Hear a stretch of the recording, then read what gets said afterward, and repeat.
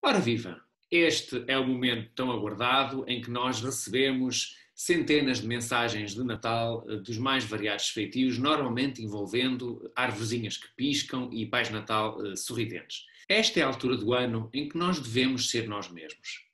E é por isso que eu abdiquei daquela imagem, obviamente falsa, em que tenho atrás de mim o loft em Zurique ensolarado e passo a assumir que aquilo que está atrás de mim é as costas da minha sala do T2 de Benfica. Resolvi também assumir a roupagem que tenho utilizado com mais frequência este ano quando não estou nas videochamadas.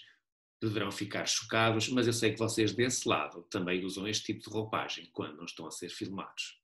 Do meu lado, já estou a trabalhar em 2021, a escrever o meu segundo livro, neste caso sobre liderança. Já estão mais uns vídeos na calha do canal da Happy Work e do podcast, e outras novidades irão aparecer também pela frente.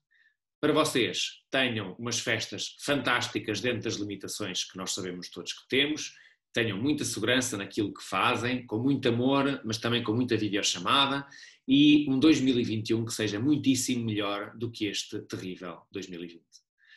Um abraço a todos, umas grandes festas.